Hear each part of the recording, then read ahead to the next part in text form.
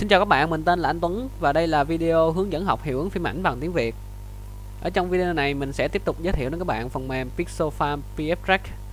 À, và ở trong phần này mình sẽ nói về các thông số à, của chức năng dò tìm do người dùng tạo hay còn được gọi là User Track.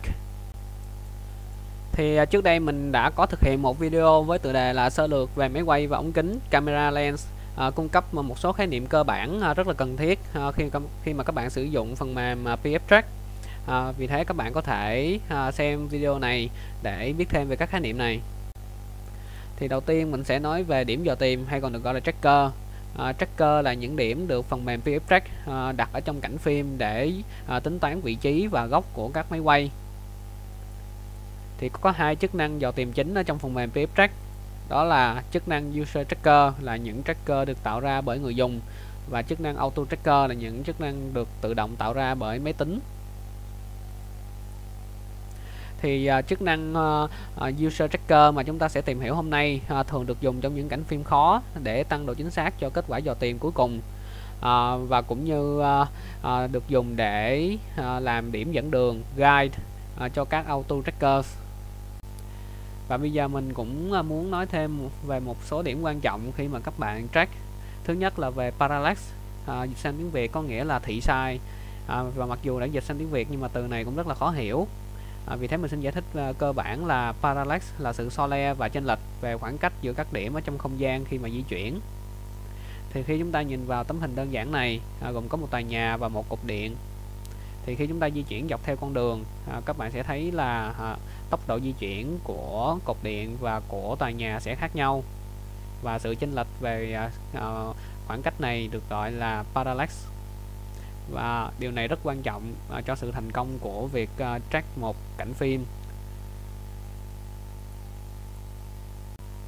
À, và ngoài ra thì khi các bạn track các bạn cũng nên tránh à, đặt các uh, tracker tức là các điểm dò tìm lên các vật di chuyển như là xe hơi động vật vân vân.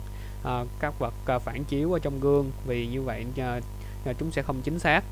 À, ngoài ra các bạn cũng phải để ý đến độ biến dạng của ống kính tức là lens distortion và bây giờ ở trong giao diện của phần mềm PF Track mình đầu tiên mình sẽ tạo à, một dự án mới. Mình bấm vào nút Create sau đó đánh vào tên của dự án Example. Sau đó mình chọn đường dẫn cho dự án.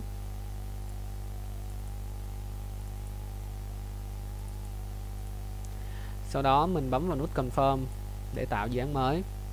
Và bây giờ mình đưa con chỏ chuột đến khung à, hiển thị thư mục để đưa vào một chủ hình ảnh mình sẽ tìm đường dẫn đến uh, chuỗi hình ảnh mà mình muốn đưa vào.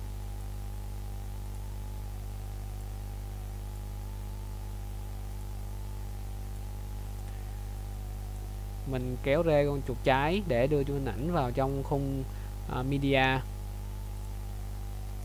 Sau đó mình tiếp tục kéo rê con chuột trái để đưa chuỗi hình ảnh này vào trong khung shadow node và như vậy chữ hình ảnh nó được hiển thị ở trong khung hiển thị.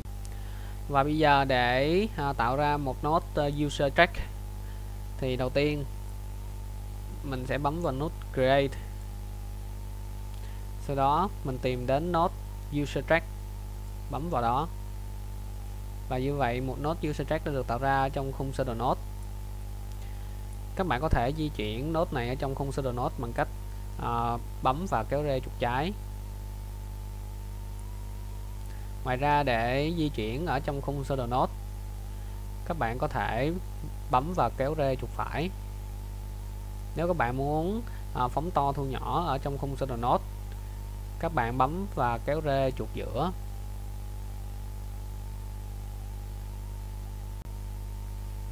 Và bây giờ chúng ta có thể sử dụng à, thanh thời gian à, kéo rê chuột trái trên thanh thời gian để xem trước à, nội dung của chuỗi hình ảnh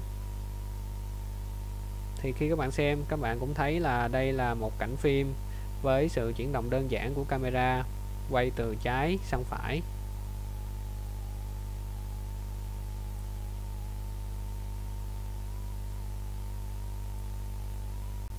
Và bây giờ à, hiện chúng ta đang sử dụng chức năng user track tức là những à, điểm dò tìm được tạo ra bởi người dùng. Vì thế à, chúng ta phải suy nghĩ à, để tìm ra điểm các điểm để đặt các điểm dò tìm ở trên cảnh phim à, để mà có thể có được kết quả tốt nhất.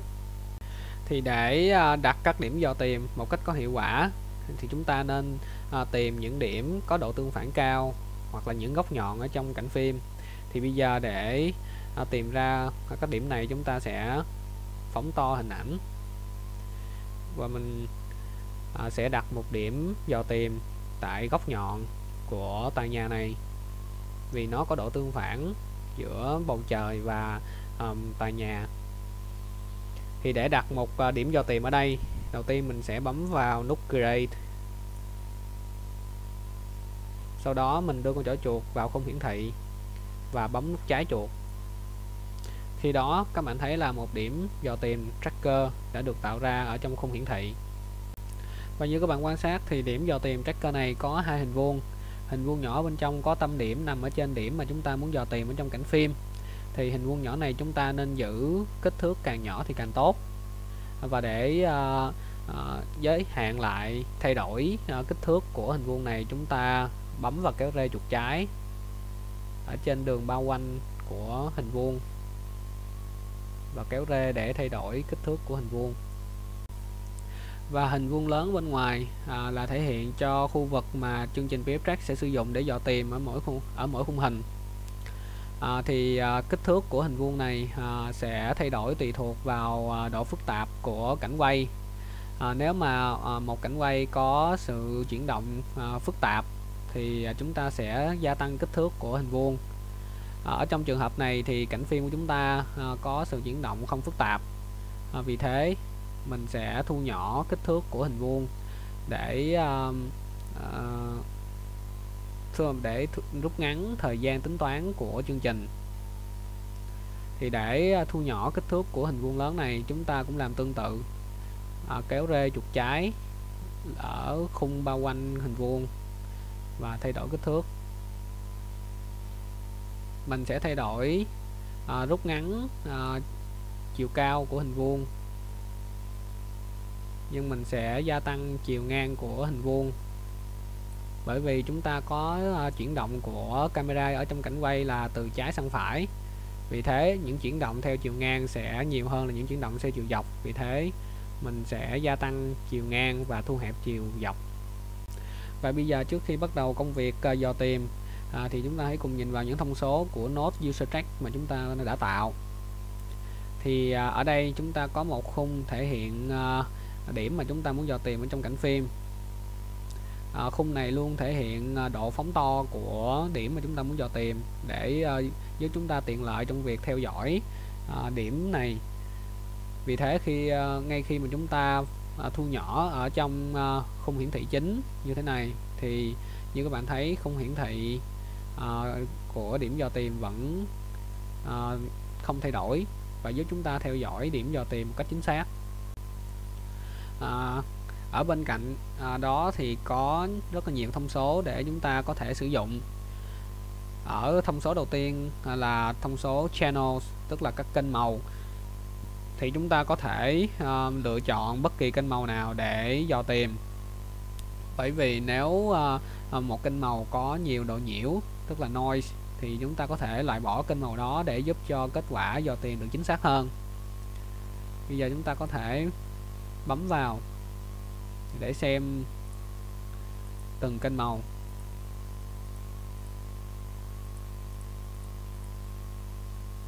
Ở phía dưới uh, thông số channel là thông số search mode tức là kiểu do tìm. Thì khi các bạn bấm vào các bạn có thể thấy có hai kiểu đó là best speed và best accuracy. Tức là ờ, uh, best speed tức là uh, các bạn sẽ có được kết quả nhanh hơn nhưng độ chính xác không cao còn best accuracy à, tức là các bạn có thể à, có kết quả chính xác cao hơn nhưng sẽ mất thời gian hơn. Ở bên dưới à, là các thông số khác à, để quy định về các kiểu chuyển động ở trong cảnh phim. À, chẳng hạn như thông số deformation à, có thể giúp các bạn à, xác định các kiểu à, chuyển động ở trong cảnh quay như là rotate tức là quay scale tức là phóng to thu nhỏ scale tức là uh, những biến dạng uh, theo chiều ngang hoặc chiều dọc vân vân. Uh, ngoài ra còn có thông số failure threshold tức là thông số này sẽ quy định uh, những sai số mà uh, những checker chúng ta tạo ra. Uh, thì uh, nếu các bạn quy định thông số này càng cao thì uh, độ chính xác sẽ không cao. Và ở bên phải uh, có một khung Ờ, để hiển thị ờ, tất cả những tracker mà chúng ta đã tạo, thì hiện tại chúng ta đang có một tracker mà chúng ta vừa mới tạo. Thì ờ, sau khi đã chỉnh sửa các thông số cần thiết thì chúng ta có thể bắt đầu việc dò tìm bằng cách bấm vào nút track forward. Và như vậy chương trình sẽ bắt đầu việc dò tìm. Và như các bạn thấy à, khung hiển thị của chúng ta sẽ luôn luôn hiển thị điểm mà chúng ta đang dò tìm một cách chính xác để chúng ta có thể dễ dàng trong việc dò tìm. Bây giờ mình sẽ bấm vào nút stop. À, và khi đó các bạn có thể à, điều khiển thanh thời gian để xem lại việc dò tìm của chúng ta. Thì như các bạn thấy điểm dò tìm của chúng ta đã bị lệch.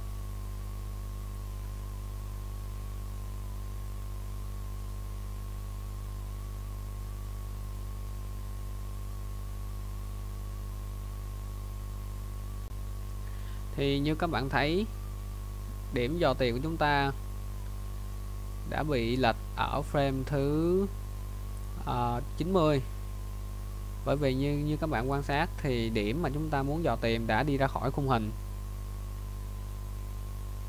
Vì thế uh, điểm uh, chương trình đã không tìm thấy thông số để dò tìm sau frame này và như vậy để giải quyết việc này à, thì mình sẽ đi đến frame 90 sau đó mình bấm vào nút remove on later keyframes. Sau đó bấm một lần nữa để à, xác định việc à, gỡ bỏ các à, tracker ở từ frame 90 trở về sau. Và bây giờ sau khi đã hoàn thành việc dò tìm thì chúng ta có thể khóa uh, điểm dò tìm mà chúng ta vừa mới thực hiện bằng cách là bấm vào nút lock. Thì khi đó uh, tracker mà chúng ta vừa mới thực hiện uh, đã được khóa và sẽ không bị ảnh hưởng ở những lần mà chúng ta dò tìm tiếp theo. Và như vậy uh, cũng theo cách này chúng ta có thể thêm vào nhiều tracker khác nhau ở nhiều điểm khác nhau ở trong cảnh phim để giúp cho việc dò tìm à, à, chuyển động ở trong cảnh phim được dễ dàng hơn. Chẳng hạn bây giờ mình có thể tạo một tracker mới ở đây chẳng hạn.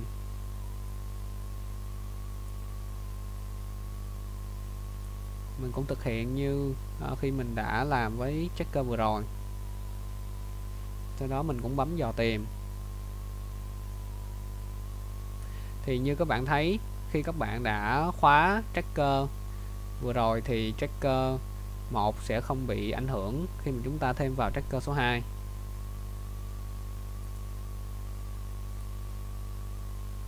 như vậy là chúng ta đã có được hai điểm dò tìm. À, video này đến đây là hết. Cảm ơn các bạn đã theo dõi video và hẹn gặp lại các bạn trong những video sắp tới.